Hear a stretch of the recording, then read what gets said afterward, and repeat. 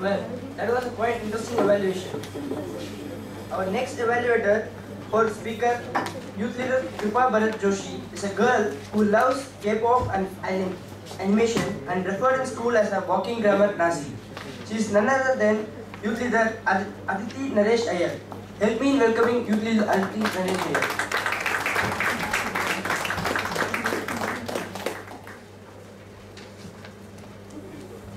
Uh, good evening, everyone present here, and especially Kri- Kripa. Yeah, uh, sorry.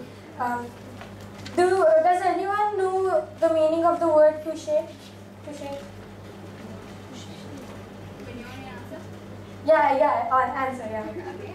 Um, um, touche is actually when you score a point in fencing. Yes.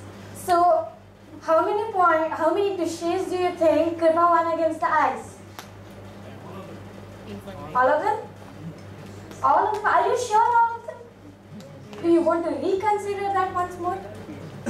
Okay, okay, that's your opinion. My opinion is that she lost one point, obviously.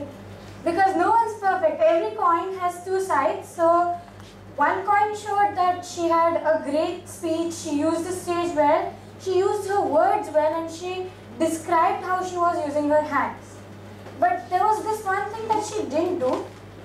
She didn't talk about herself, she didn't talk about her perspective of the thing. She didn't use references from her point of view. That happens, it's, it's the first speech, I have given one. It feels like, you know, the world is sitting on your head and butterflies are in your stomach. But that's a different thing. For icebreaker, it was really good. And for an evaluation, I think I'm doing pretty well, don't you think so? Thank you.